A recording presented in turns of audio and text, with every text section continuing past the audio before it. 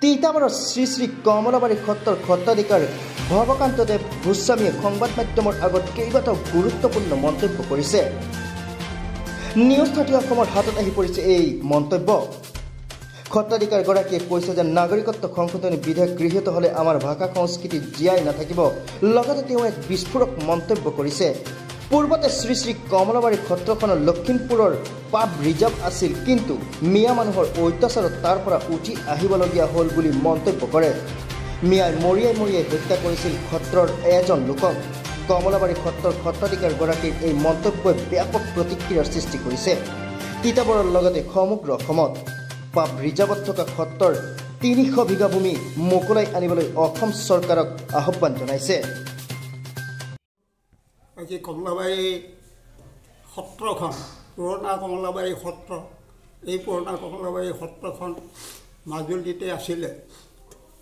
মাজুলীত থকাত ব্ৰহ্মপুত্ৰ গৰাখহনীয়া তেতিয়া গৰাখহা তেতিয়া সৰ্বশান্ত হ'ল বুলি ক'ব পাৰি যে সেই সৰ্বশান্ত হোৱা সেই অৱস্থাত অসম চৰকাৰৰ সহযোগতে অৰ্থাৎ তেতিয়া আছিলে সিংহ চাপ সিংহ তেওঁ প্ৰাক্তন আৰু প্ৰয়াতও হ'ল তেখেতৰ সহযোগতেই বা চৰকাৰৰ সহযোগতেই সম ৰাইজৰ সহযোগতে অসমৰ সম ৰাইজৰ ভক্ত শিষ্যবৰ্গৰ সহযোগতেই যে আমি আহি তিতাবৰ অন্তৰ্গত মহিৰবাৰীত এই সত্ৰখন ঊনৈছশ পঁসত্তৰ চনত ইয়াত প্ৰতিষ্ঠা কৰিব পৰা হ'ল প্ৰতিষ্ঠা যেতিয়া কৰিলে কিন্তু মাটি যিকণ মাটি দিলে তাৰপৰা ভক্ত পৰিয়ালৰ মাত্ৰ তিনি বিঘাকে মাটি পৰিয়ালৰ পৰিল। গতিকে অতি দুখৰ বিষয়ে দিয়ে গতিকে সেই সত্ৰখনৰ ষাঠিৰ পিছতে বাষষ্ঠি চনৰ অনুমানিক আমি অনুভৱ কৰিছোঁ তেতিয়াই মাজুলী এটা তাণ্ডৱ আহিল। ব্ৰহ্মপুত্ৰৰ খহনীয়া আহিল। আহি বাষষ্ঠি চনতে তেতিয়া আমাৰ সত্ৰখন উঠাই নিবৰ কাৰণে তেতিয়া উঠাই নিবৰ কাৰণে তেতিয়া আমি শ্বিলং তেতিয়া মেঘালয় তেতিয়া এতিয়া বৰ্তমান মেঘালয় তেতিয়া শ্বিলং তেতিয়া যি চৰকাৰ আছিলে অসম চৰকাৰ। সেই অসম চৰকাৰে মহেন্দ্ৰ মোহন চৌধুৰী প্ৰাক্তন মহেন্দ্ৰ মোহন চৌধুৰী তেখেতৰ সহযোগতে লখিমপুৰ জিলাৰ লখিমপুৰ জিলাৰ লালুক মৌজাৰ অন্তৰ্গত দি ৰিজাৰ্ভ পাভৰ পাভৰ ৰিজাৰ্ভত তাৰ তিনিশ বিঘা মাটি আমাক পট্টন দিছিলে তেতিয়া পট্টন দিয়াত আমি সেই সত্ৰখন উঠাই নিবৰ কাৰণে মাজুলী থাকোঁতে উঠাই নিবৰ কাৰণে আমি অনেকখিনি চেষ্টা কৰি পেলাই তালৈ উঠাই নিয়ে সেই মাটিও আমাক দিলে মাটি উঠাই দিয়াত তেতিয়া আমি গৈ তাত বসবাস কৰিছিলোঁগৈ ভকত বসবাস কৰিছিলে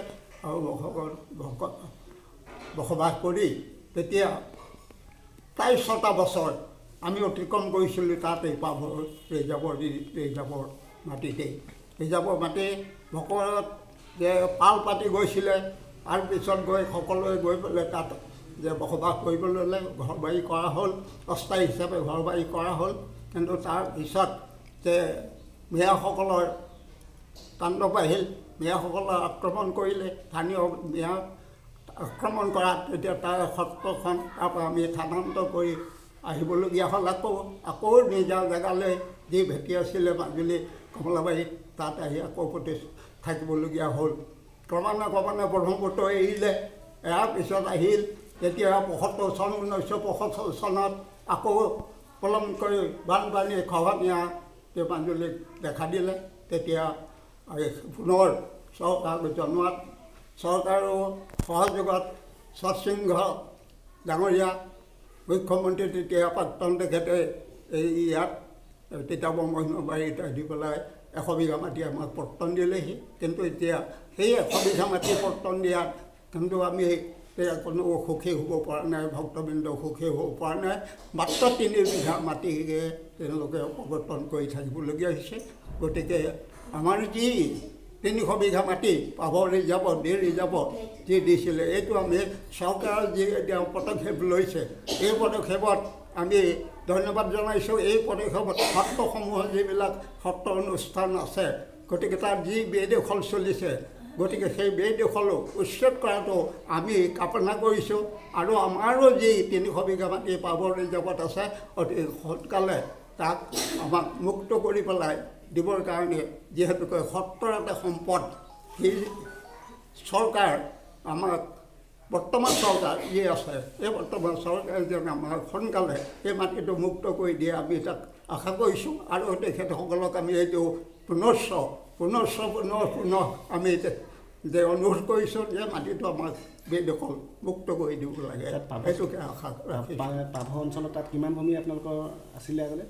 তিনিশ বিঘা মাটি তিনিশ বিঘা মাটি আমাৰ তাত আছিলে তেখেতে বেদখল কৰিছিলে আমি তাত অনেকখিনি যে টকা পইচা খৰচ হ'ল মানুহ এজনক অৰ্থাৎ আমাৰ মুক্তি আৰু এজনক হত্যা কৰিছিলে তিৰাশী চনত যি অৱৈধ চৰকাৰ সেই সময়ত হৈছিলে বুলি কয় ছাত্ৰ আন্দোলন অসমৰ আন্দোলন সেই আন্দোলনৰ বিদেশী খেদা আন্দোলনত সেই সময়তে আমাৰ মুক্তিয়াৰ তাক হত্যা কৰিলে সত্ৰ আছিলে নেকি মুক্তিয়া সত্ৰমুক্তিয়া তেওঁ সত্ৰমুক্তিয়া আছিলে। সমস্যাৰ হাজৰিকা বুলি কয় তেখেতক হত্যা কৰিলে ৰাতিৰ ভিতৰতে। ভকত যে পাল পাতি গৈছিলে তাৰপিছত গৈ সকলোৱে গৈ পেলাই তাত যে বসবাস কৰিবলৈ ল'লে ঘৰ বাৰী কৰা হ'ল অস্থায়ী হিচাপে ঘৰ বাৰী কৰা হ'ল। কিন্তু তাৰপিছত যে মিয়াসকলৰ তাণ্ডৱ আহিল মিয়াসকলে আক্ৰমণ কৰিলে স্থানীয় মিয়া আক্ৰমণ কৰাত তেতিয়া তাৰ সত্ৰখন তাৰপৰা আমি স্থানান্তৰ কৰি আহিবলগীয়া হ'ল। আকৌ আকৌ নিজৰ জেগালৈ যি ভেটি আছিলে মাজুলী কমলাবাৰী তাত আহি আকৌ প্ৰতি থাকিবলগীয়া হ'ল। ক্ৰমান্বয়ে ক্ৰমান্বয়ে ব্ৰহ্মপুত্ৰ এৰিলে। এৰাৰ পিছত আহিল তেতিয়া পঁয়সত্তৰ চন ঊনৈছশ পঁয়সত্তৰ চনত আকৌ পলম কৰি বানপানী খহনীয়া সেই মাজুলীক দেখা দিলে তেতিয়া পুনৰ চৰকাৰক জনোৱাত চৰকাৰো সহযোগত সৎসিংহ ডাঙৰীয়া মুখ্যমন্ত্ৰী তেতিয়া প্ৰাক্তন তেখেতে এই ইয়াত তিতাবৰ মহিমাবাৰীত আহি পেলাই এশ বিঘা মাটি আমাক পৰ্তন দিলেহি। কিন্তু এতিয়া সেই এশ বিঘা মাটি পৰ্তন দিয়াত কিন্তু আমি কোনো সুখী হ'ব পৰা নাই ভক্তবৃন্দ সুখী হ'ব পৰা নাই। মাত্ৰ তিনি বিঘা মাটিকে তেওঁলোকে অপৱৰ্তন কৰি থাকিবলগীয়া হৈছে। গতিকে আমাৰ যি তিনিশ বিঘা মাটি পাভ ৰিজাৰ্ভত ডি ৰিজাৰ্ভত যি দিছিলে। এইটো আমি চৰকাৰৰ যি এতিয়া পদক্ষেপ লৈছে এই পদক্ষেপত আমি ধন্যবাদ জনাইছোঁ। এই পদক্ষেপত সত্ৰসমূহৰ যিবিলাক সত্ৰ অনুষ্ঠান আছে গতিকে তাত যি বেদখল চলিছে গতিকে সেই বেদখলো উচ্ছেদ কৰাটো আমি কামনা কৰিছোঁ।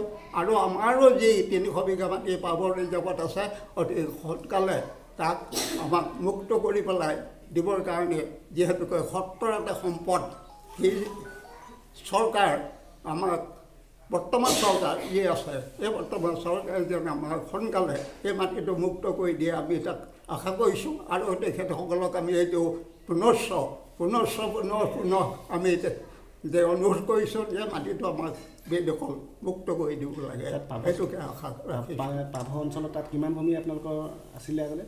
তিনিশ বিঘা মাটি তিনিশ বিঘা মাটি আমাৰ তাত আছিলে তেখেতে বেদখল কৰিছিলে আমি তাত অনেকখিনি যে টকা পইচা খৰচ হ'ল।